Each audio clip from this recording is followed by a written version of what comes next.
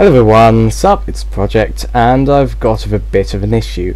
And, well, I'm going to show you how I debug. And I had a little toy around with this, but an issue went on with recording and my microphone, so it's just picking up from where I left off. But, nonetheless, it's still a bit of an issue.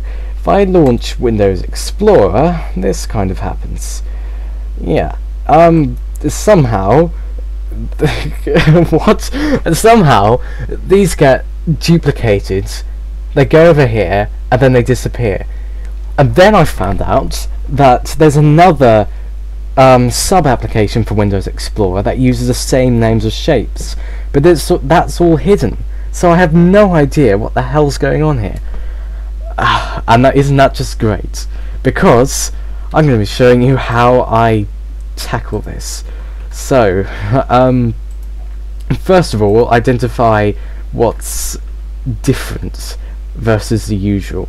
And I'm pretty familiar with something I've been coding for like five months, so um, I might be able to decipher where. Okay, first of all, I need to undo this. So, oh wow, that's slow. Slow PowerPoint. Okay, doesn't let me do. Okay, right. Let's try again. Go to Start. Then I'll go to Programs. Um, I'll go and open the Save dialog because that's where it seems to be occurring from. Because that's called Files.exe, and what happens is um, it gets a current. It uh, it's hard to explain, but it gets a current um, iteration of your windows. So if you open several windows, it will find, it will identify each window with its own starting thing. So it's really hard to explain. Let me open Save As dialog and I'll show you the shape names. So at the sides here, this is files.exe. But if I was to run um, the another instance of this, then it will put a backtick and then one files.exe and if I do another one it will get the amount that I've done that and it will create um, it will increment that and I'll have backtick 2 files.exe so they don't get mixed up. What seems to happen here is that this is somehow interfering with the other thing. So you see I'm currently in C user slash yo mama, don't ask. Um, your computer, Windows and my documents are all at the side and their respective icons. Now this is where it seemed to have quotes unquotes travelled to, but I actually think that it just flagged up this for some reason. So I'm pretty sure this is the same. Yeah, okay, this is the same name except for the prefix, which is files.exe.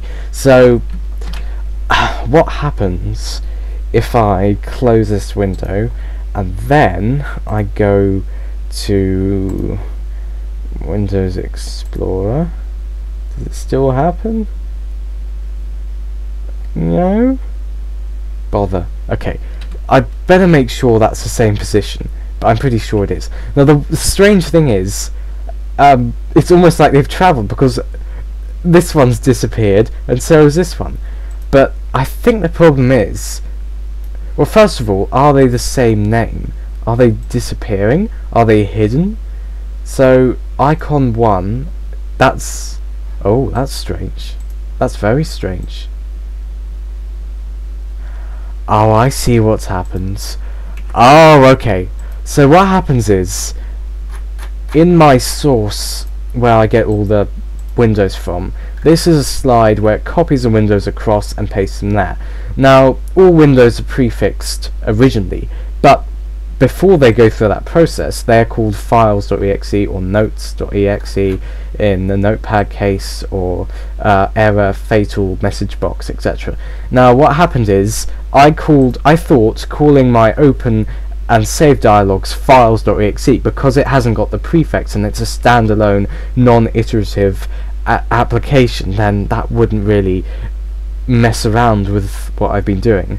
But it seems to have, because as soon as this gets paste, pasted, sorry, um, this is how the code works. It copies it across, goes into this slide, unzips it or ungroups it, and iterates through all the different shapes and adds the prefix to them. But that happens once they go on the slide. If you have two shapes with the same name, that causes a bit of confusion between each shape. So if I was to actually open up the original dialog, you can see that I uh, the save as dialog. These are called. Uh, let me find them. These are called files.exe percent icon northwest one.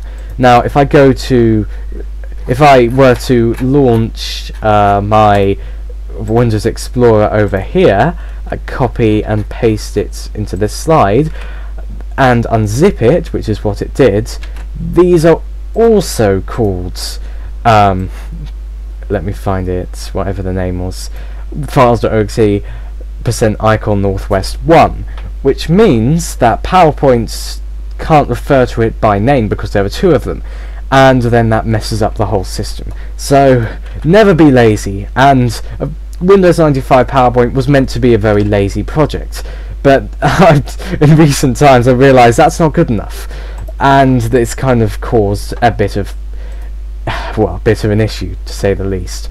So, um, I'm going to go ahead and fix that, and hopefully that gave you a little bit of an insight into how I debug my PowerPoint OSs particularly Windows 95 PowerPoints. And yeah, that's about it. I'm going to end this video because I don't feel like editing it because I feel like getting on with this. And I'll see you all next time when the release.